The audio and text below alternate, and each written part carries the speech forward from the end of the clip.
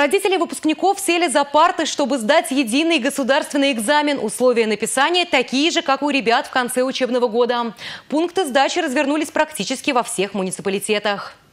Проходите, распишитесь. Обработка рук, измерение температуры, вход только в масках и при наличии паспорта. Обязательно проверка на наличие запрещенных предметов – телефона, гаджетов, шпаргалок. Запрещается иметь при себе средства связи, электронную вычислительную технику, фото, аудио и видеоаппаратуру, справочные материалы, письменные заметки и иные средства хранения и передачи информации.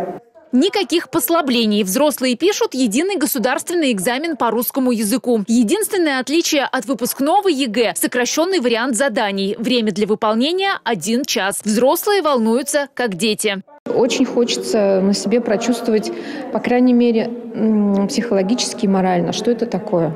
Сразу накатывает волна страха и паники.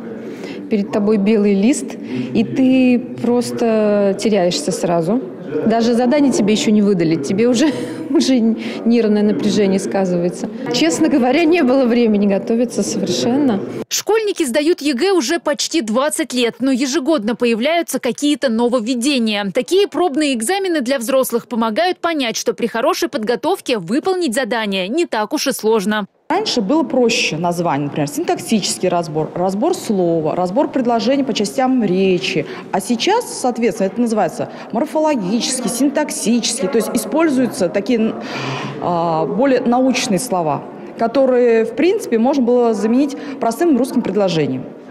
И поэтому возникает у родителей страх. С каждым годом родителей, желающих проверить свои силы, становится все больше. После этого легче настроить детей на экзамен. Основные единые государственные экзамены для выпускников начнутся 31 мая. Татьяна Трофимова, Владимир Синдеев, Республика.